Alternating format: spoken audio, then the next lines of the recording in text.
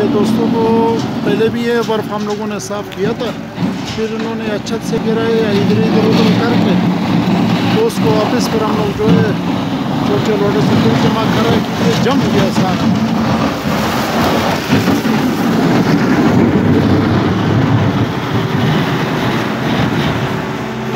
ये कि इसको साथ साथ जो हम लोग इसे लोड कर रहे हैं, उस, कंटेनरों में डाल के, यहाँ पे एरिया बना के तो डेरियों को जो वापस हम लोग कंटेनर में डाल रहे हैं। ये हमारे एक नहीं, दो दो लोडर आए।